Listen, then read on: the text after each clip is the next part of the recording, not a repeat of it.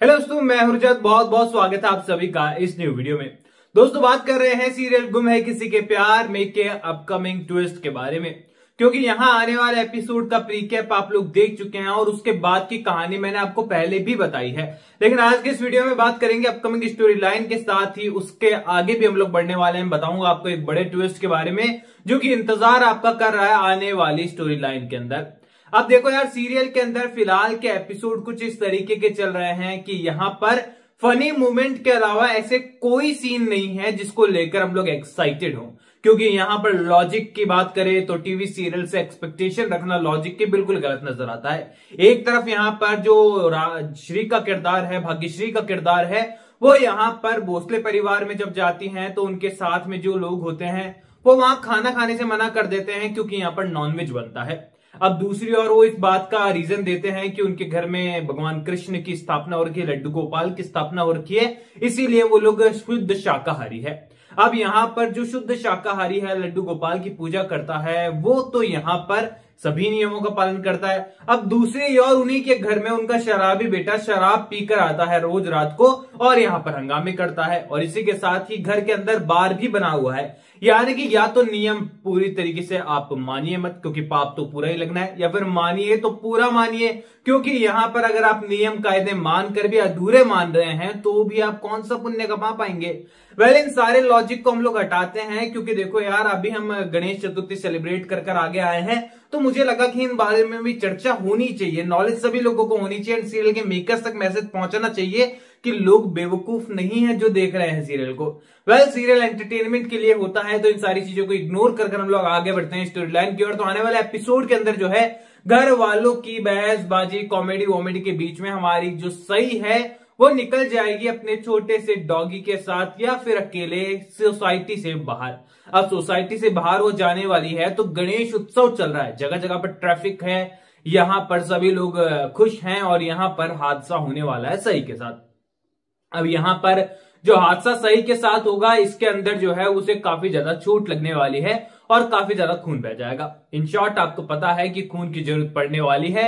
यहाँ पर रजत इनकार कर देगा, साफ़ मना कर देगा कि मैं ब्लड टेस्ट नहीं कराऊँगा और ना ही सभी को सही को जो है मैं खून देने वाला हूँ। अब ऐसे में यहाँ पर सभी जो है रास्ता निकालने वाली है और यहाँ पर पूरी तरीके से वो जो है आशिका को कॉल करेगी कि आप आइए और यहाँ अपनी बच्ची की जान बचाइए, उसे ब्लड की बहुत ज़्यादा ज़रूरत है। घर वाले यहाँ पर सभी को ही डांटेंगे कि आखिरकार उन लोगों को बुलाने की क्या ज़रूरत थी? वो कौन से आज तक सभी के सभी के काम आए हैं जो आ जाएँगे? तो यहाँ पर सभी एक्सप्लेन करने वाली है कि आज उसका खुद का पिता काम का नहीं आ रहा है तो दूसरों से मदद मांगने में क्या हर्ज है? क्योंकि यहाँ पर मेरे लिए सही की सेफ्टी सबसे ज़्यादा मायने रखती है।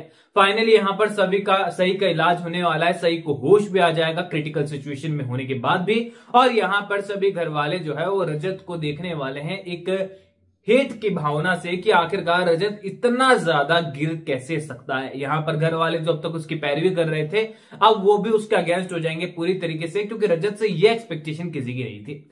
अब यहाँ पर रजत पूरी तरीके से नशे में आपको फिर से नज़र आएगा। यानी कि जिस नशे के कारण बर्बाद वो हो रखा है, उसी नशे का सहारा वो दुख से निकलने के लिए लेता है।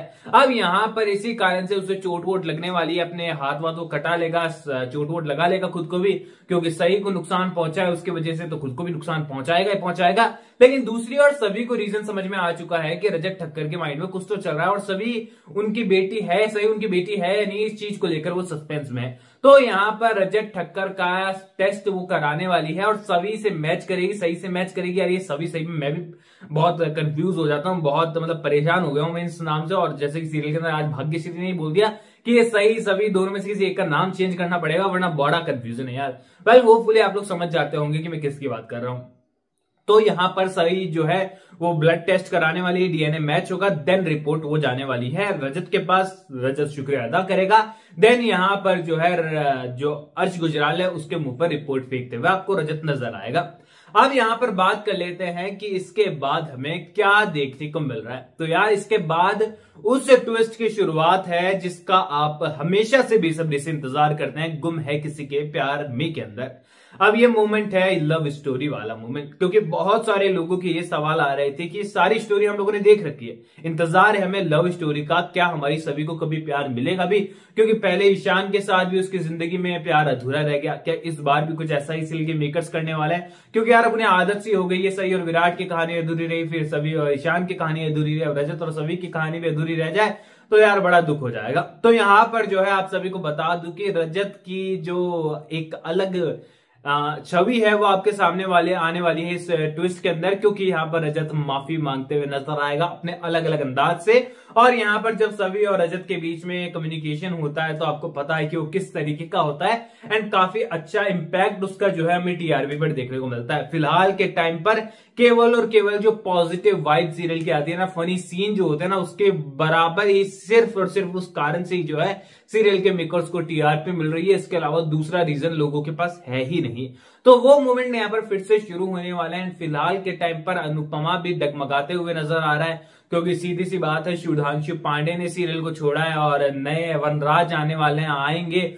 तो यहाँ पर उसमें भी काफ़ी ज़्यादा जो है ट्विस्ट हमें देखने को मिल सकते हैं और टीआरपी ब्रेक होती है या फिर ब्रेक ही होगी मेरे ख्याल से। तो तो उसके बाद गुमे किसी के प्यार में नंबर वन आ पाता है या फिर टू पे रहता है या फिर जनक फिर से सेकंड पे आ जाएगा और गुमे किसी प्यार में थर्ड नंबर पर आ जाएगा।